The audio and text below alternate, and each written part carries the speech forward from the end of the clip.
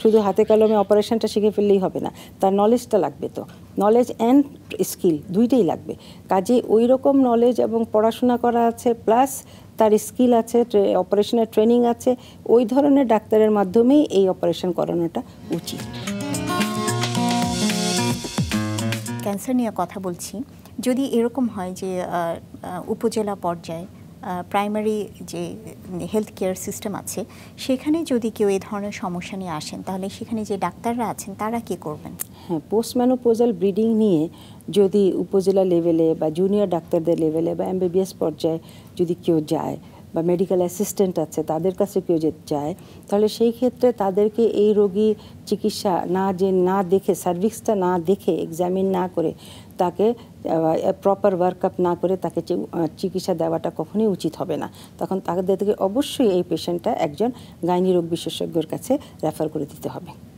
আচ্ছা। কারণ এইটা পেশেন্ট এক্সামিনেশন ছাড়া এই পেশেন্টকে মানে মন গড়া বা আন্দাজে কোনো চিকিৎসা দেওয়া যাবে না। কাজে তাদেরকে রেফার করে দেওয়াটাই তাদের জন্য শ্রেয়। অবশ্যই। আপনি বলছিলেন যে এটা এই ধরনের একটা সেন্টারে চিকিৎসা নেওয়ার কথা। কারণ আমরা জানছি জানি, বুঝতে পারছি আমাদের আলোচনায় যে এটা একটা খুব অ্যাডভান্সড একটা চিকিৎসা লাগবে এবং যেখানে সব ধরনের ফ্যাসিলিটিস আছে। স্কোয়ার হসপিটালে তো এটা আছে হ্যাঁ স্কোয়ার হসপিটালে আছে কারণ এখানে পেশেন্ট আসলে পরে তার ওয়ার্ক আপ করার জন্য। ওয়ার্ক আপ করার জন্য পেশেন্ট এক্সামিনেশন থেকে নিয়ে ইনভেস্টিগেশন করা পর্যন্ত যা যা দরকার সব কিছু স্কোয়ার হসপিটালে আছে। এবং তারপরে এর পরবর্তী যে চিকিৎসা অপারেশন সেটাও আছে। রেডিওথেরাপি কেমোথেরাপি সেটাও আছে। কাজে এখানে স্কোয়ার হসপিটালে কম্পোজিট চিকিৎসাই রয়ে গেছে। আচ্ছা, এবং পরবর্তী সরকারি পর্যায়েও আছে এবং অন্যান্য আরও বেসরকারি হসপিটালেও আছে। তারপর যেমন ধরেন ক্যান্সার ন্যাশনাল ক্যান্সার ইনস্টিটিউট আছে। ওটাতে ক্যান্সারের হসপিটাল। ওখানে অবশ্য এটা অবশ্যই আছে। ওখানে আছে ঢাকা মেডিকেল অন্যান্য বড় বড় মেডিকেল কলেজ হসপিটালগুলোতে আছে। আর প্লাস প্রাইভেট সেক্টরে কিছু আছে স্কোয়ার হসপিটাল আছে। তবে সব জায়গায় সব মেডিকেল কলেজেই যে একেবারে আছে তা না। কারণ এই ব্যাপারে সার্জারিতে যে অভিজ্ঞ শুধুমাত্র তাদেরকে দিয়েই সার্জারি করানোটা ঠিক। কারণ আমি তো আগেই বলেছি যে সার্জারি করতে হলে কি কি বিষয় আমাদেরকে দেখতে হয়। যারা বিশেষজ্ঞ ডাক্তার আছেন, এবার তাদের তো এই ব্যাপারে প্রচুর পড়াশোনা আছে। পড়াশোনা আছে, শুধু সার্জারি ট্রেনিং নিলেই হবে না, তাকে তার পড়তে হবে। শুধু হাতে কলমে অপারেশনটা শিখে ফেললেই হবে না, তার নলেজটা লাগবে তো। নলেজ অ্যান্ড স্কিল দুইটাই লাগবে। কাজে ওই রকম নলেজ এবং পড়াশোনা করা আছে প্লাস তার স্কিল আছে অপারেশনের ট্রেনিং আছে ওই ধরনের ডাক্তারের মাধ্যমেই এই অপারেশন করানোটা উচিত। পোস্টমেনোপোজাল ব্লিডিং যদি জরায়ু ক্যান্সারের কারণে হয় তাহলে সার্জারি হচ্ছে এটার একমাত্র চিকিৎসা বলা যায়। এই সার্জারির পর কি কি ধরনের জটিলতা হতে পারে?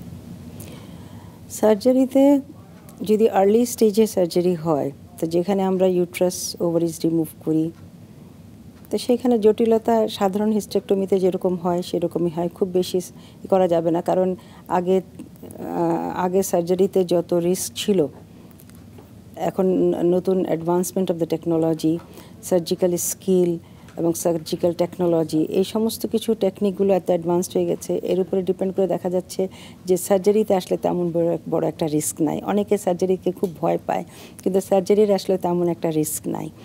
কিন্তু এটা যদি একটু অ্যাডভান্স স্টেজে চলে যায় ক্যান্সারটা, সেখানে ওমেন্টাম ফেলতে হয় লিম নোটস ফেলতে হয়, তো সেখানে অনেক জায়গায় যেখানে ছড়িয়ে গেছে, ওখান থেকে রিমুভ করতে হয়। তো এইসব ক্ষেত্রে অনেক সময় আমরা খাদ্যনালীর সঙ্গে অ্যাডারেন্ট থাকে, ওখানে ওখানে সার্জারিটা করতে হয়। সেই ক্ষেত্রে একটু ইঞ্জুরি হওয়ার সম্ভাবনা থাকে ব্লিডিং একটু বেশি হয়। কিন্তু তারপরেও দেখা যাচ্ছে যে মূত্রনালী, মূত্রথলির সঙ্গে একটু অ্যাডারেন্ট থাকে, সেখান থেকে রিমুভ করতে হয়। তো তারপরেও দেখা যাচ্ছে যে রিস্কটা তত বড় না। কারণ আজকাল সার্জিক্যাল স্কিলটা অনেক ডেভেলপ সেই জন্য অত ভয় পাওয়ার কিছু নাই। সার্জারি ইজ কোয়াইট গুড আচ্ছা। সেটার জন্য অত ঝুঁকি নিয়ে অত টেনশন করার কোনো দরকার নাই সার্জারি কারণ অপারেশন করতে হবে এই না যে অপারেশন করতে গিয়ে রোগী মরে যাবে তা না।